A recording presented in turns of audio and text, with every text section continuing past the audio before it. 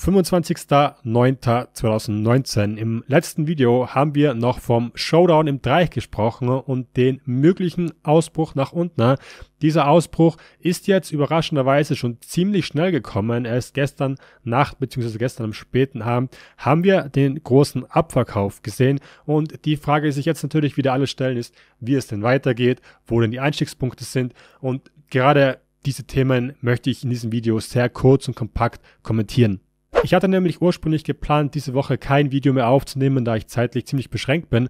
Aber ich bin mir bewusst, dass nach so einem, ja, Bruch und nach so einer großen Volatilität und nach so einem überaus bedeuteten ähm, Preismove ich fast dazu gezwungen bin, euch ein kurzes Update zu geben. Ähm, das ist mein Anspruch auch mit diesem Kanal. Wenn ich jetzt da eine Woche warten würde, bis ich das kommentieren würde, wäre es schon wieder alt und wäre schon wieder nicht aktuell.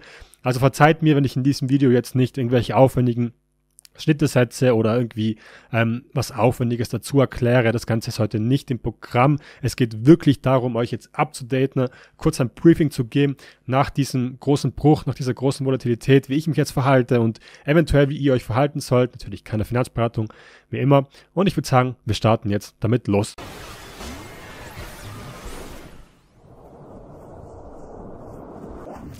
Generell gesagt sollte für die meisten Zuschauer meines Kanals oder die Leute, die mir jetzt schon länger folgen, dieser Bruch nach unten eigentlich nicht die größte Überraschung sein. Ich habe das Ganze schon mehrmals in meinen Videos thematisiert, eigentlich über den ganzen Sommer jetzt hinweg, dass ich dieses Szenario definitiv wahrscheinlich sehe und dass ich auf so ein Szenario spekuliere, wo wir diesen großen Support aus dem Markt nehmen. Und dementsprechend möchte ich das zum Anfang noch mal kurz erwähnen, nicht um mir jetzt selber auf die Schultern zu klopfen. Das ist absolut nicht das Ziel dahinter.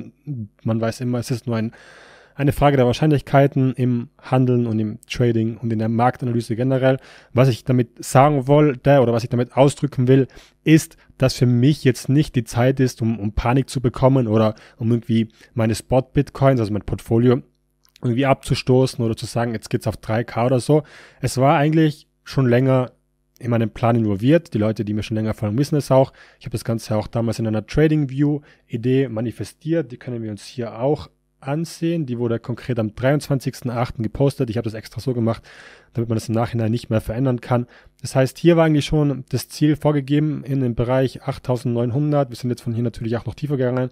Was auch hier interessant ist, wenn man weiter drückt, wenn man den Stopp drückt, hier hatte man auch wirklich Glück, dass bei dieser Idee ähm, der Stop nicht getroffen wurde vor dem eigentlichen Abverkauf. Also ihr seht schon, auch wenn die generelle Idee richtig ist, das Timing ist immer schwierig. Wenn ihr das wirklich so tradet und ihr habt das Ganze als Hedge genommen, also nicht als kurzfristigen Trade, dann ist, muss euch im Klaren sein, dass wenn ihr zum Beispiel hier schon bereits Short seid, der Markt hier nach unten zieht und ihr hier nicht schließt, ihr ziemlich zu schwitzen beginnt, wenn der Markt wieder hier hochzieht. Aber gehen wir jetzt zum eigentlichen Chart. Wie gesagt, das sollte jetzt nicht zur Beweihräucherung dienen, da viele YouTuber oder auch viele Trading-Gurus, wenn man so nennen kann, ähm, solche Fakten oft danach nehmen und sagen, ich hab's euch doch gesagt, ihr müsst auf mich hören und bla bla bla bla bla. Ähm, um das geht's ja gar nicht. Es geht wirklich nur darum, um euch zu zeigen, dass ich keine Panik habe und dass ihr eigentlich auch keine Panik haben sollt. Da, wie gesagt, es überrascht mich ziemlich wenig. Ähm, wir haben nämlich diese Range geformt, wo ich jetzt schon das tausende Mal drauf eingegangen bin und eben diese sehr, sehr sauberen Lows im Markt gelassen. Das heißt, wie ich auch schon das x-te Mal erklärt habe, liegt unter diesen Lows eine Menge an Liquidität. Das heißt, wenn irgendein Wahl oder irgendeine größere Institution oder irgendein größerer Marktteilnehmer es schafft, den Markt unter diesem Bereich zu drücken, dann wird eine Kaskade von Sell-Ordern ausgelöst, hauptsächlich in Form von Stop-Ordern. Und das Ganze habt ihr auch gestern wieder gesehen auf Bitmax. Ich kann euch hier kurz die, den Screenshot dazu einblenden. Es wurden Unmengen an Long-Positionen liquidiert bzw. ausgestoppt. Es wurden ähm, noch mehr Positionen verkauft, einfach aus dem Grund, weil mit diesem Druck nach unten das Feuerwerk ausgelöst wurde. Ich habe schon mal erklärt, ihr könnt euch das vorstellen, wie so ein großes Feuer, also ein Lagerfeuer, wenn die Market Maker oder die Wale oder generell, wenn einfach der Markt unter so ein ähm, Swing Low geht, vor allem am Daily Chart, dann ist das Ganze so, als würdet ihr Benzin ins Lagerfeuer kippen,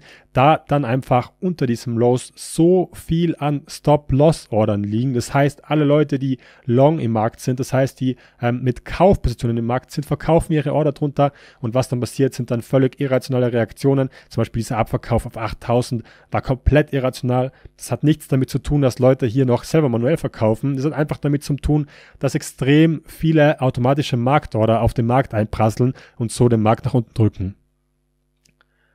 3, 2, 1. Mein erster Tipp in diesem Video für euch und generell ein erster, ein erster Hinweis, eine erste Weisheit ist, nichts zu überstürzen.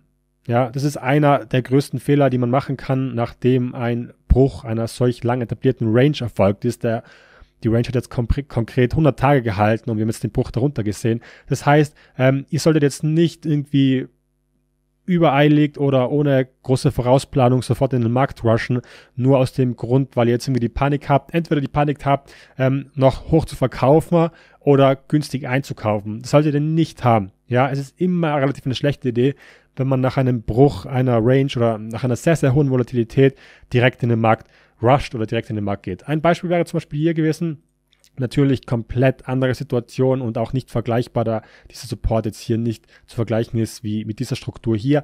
Aber auch hier, wir haben hier eine große Liquidität, also eine große Volatilität, sorry, nach unten. Was macht der Markt in den nächsten Tagen erstmal? Naja, das sieht jetzt am Daily Chart nicht spannend aus, aber das sind auch wieder vier Tage konkret. Ich musste, ich musste jetzt gerade nochmal zählen, ob es vier oder drei Tage sind. Das heißt, das hier sind jetzt nochmal vier Tage und der Markt macht hier im Prinzip gar nichts. Ja? Er versucht hier nochmal abzuverkaufen. Wir haben hier das Low gesehen, dieses ersten Runs. Er gibt noch einmal unter dieses Lows vom, dieses Low vom Vortag, kommt dann konkret nach oben, wird stark aufgekauft und dann einfach seitwärts. Ein Versuch über diesem High hier zu schließen. Das heißt, ihr seht hier wieder auch konkret, ups, sorry, wie konkret die Daily Highs und Daily Lows attackiert werden. Einmal hier das Low und einmal hier das High. Die werden beide aus dem Markt genommen und dann kommt das nächste Bewegung. Das heißt, hier ist jetzt nicht irgendwie der Zeitpunkt, um sofort irgendwas zu machen, weil es ist meistens nur emotional und führt zu keinen guten Entscheidungen.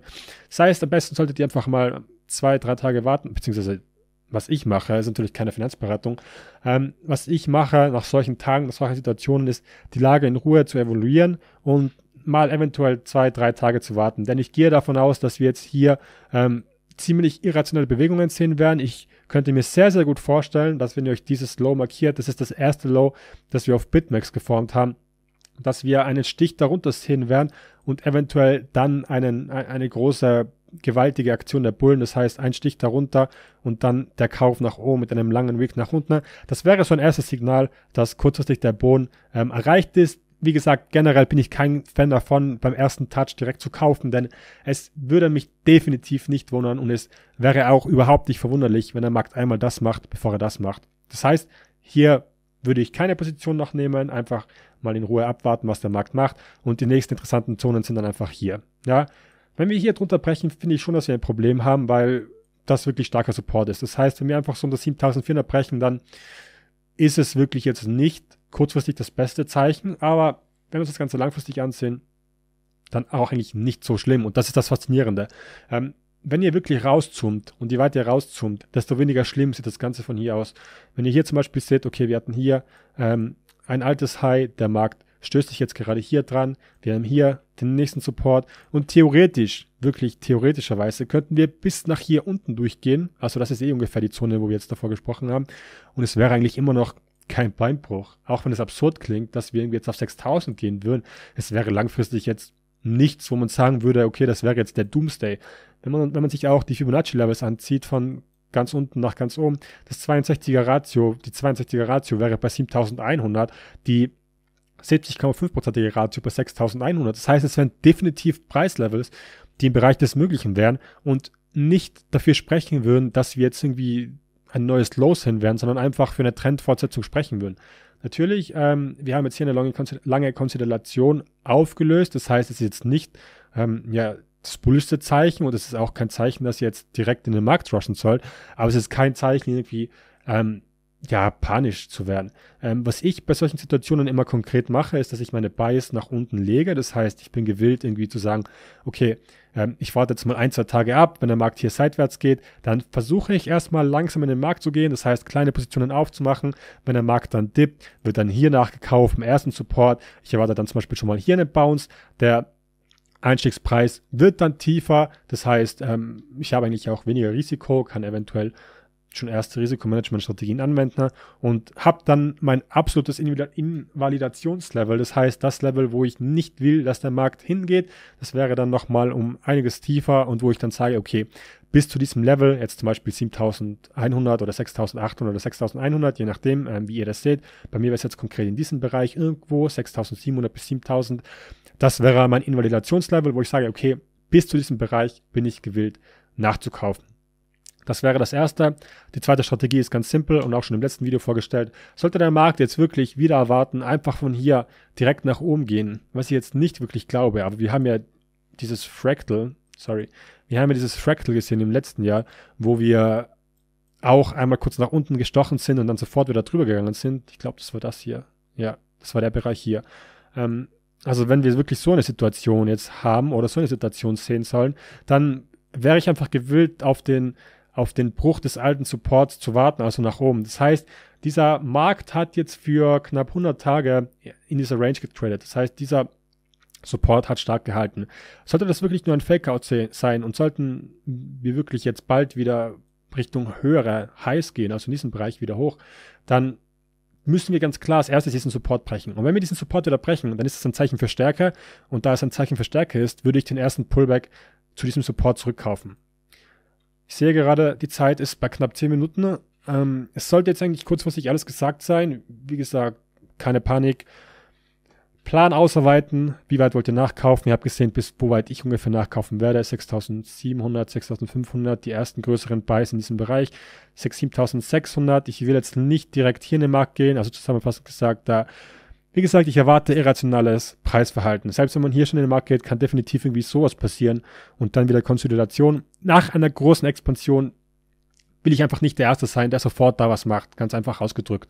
Das heißt, erstmal kurz abwarten, ähm, die Buys nach unten reinlegen und wie gesagt, das wäre das kurzfristige Update. Ich hoffe, euch hat es gefallen. Ich wollte euch hiermit wirklich nur sehr, sehr, sehr schnell updaten, da ich, wie da ich, wie gesagt, zeitlich ziemlich beschränkt bin diese Woche und wahrscheinlich erst das nächste Video am Montag mache. Am Montag können wir dann ein längeres Video machen über den langfristigen Plan. Bis dahin war es ein schnelles Update. Ich versuche es gleich hochzuladen und ich bedanke mich für eure Aufmerksamkeit. Euer Chris.